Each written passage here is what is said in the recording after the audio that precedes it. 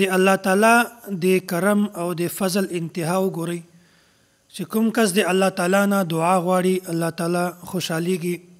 او که کوم کس د الله تعالی نه دعا نه غواړي الله تعالی د هغه نه خپه کیږي حضرت ابو هريره رضی الله تعالی عنه د نبی علی صلوات و سلام د ارشاد نقل کوي من لم يسأل الله يغضب عليه کوم کس چې د الله تعالی نه دعا نه غواړي الله تعالی په یغه کس باندې غصه کیږي الله تعالی د یغ کس نه ناراضه کیږي خپه کیږي د دنیا دستور دا د دنیا د دستور نه بالکل برعکس خبره ده په دنیا کې کومونګ د چانه وغواړو بیا هغه خپه کیږي او که چانه نه وغواړو بیا هغه خوشحاليږي نو الله تعالی دومره د کرم او د فضل وال ذات ده چې موږ د هغه نه غواړو او خوشحالېږي او که نه یې غواړو بیا هغه خپه کېږي. د دې باوجود هم که موږ خپل حاجات او خپل ضروریات پوره کولو لپاره د الله تعالی نه موږ دعا نه وغواړو نو ماته ووایئ چې په دې نه به کم عقل انسان کوم یوی نو کله هم چې د الله تعالی نه دعا غواړو نو خپل حاجات او خپل ضروریات پوره کولو لپاره نو د دعا د آدابو او د شرایطو خیال ساتئ بیا الله تعالی د انسان دعا خامخا قبلوي. حضرت انس بن مالک رضی الله تعالی عنه د نبي علیه الصلوة والسلام دا ارشاد نقل کوي وايي، الدعاء مخ العبادة، دعا دا د عبادت مازغه دي.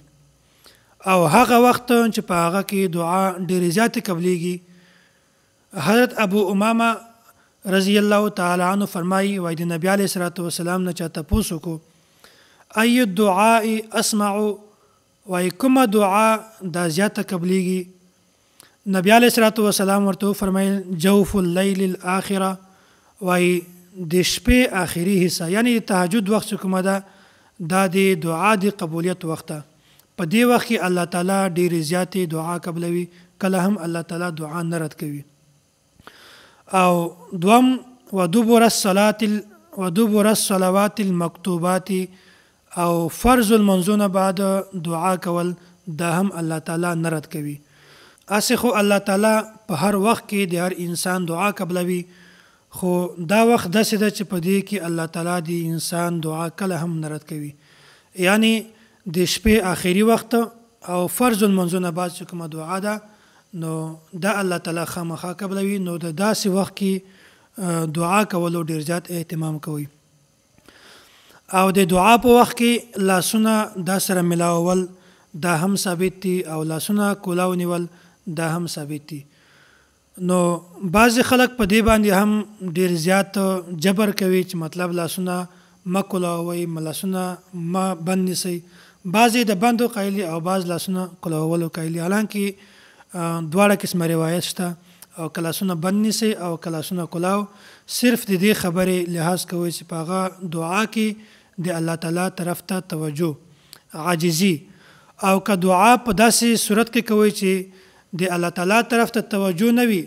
او د غوښتونکي غوندې د انسان طرز نه وي د دعا نو په داسې وخت کې به الله تعالی څنګه د تاسې دعاګانې قبلوي او بیا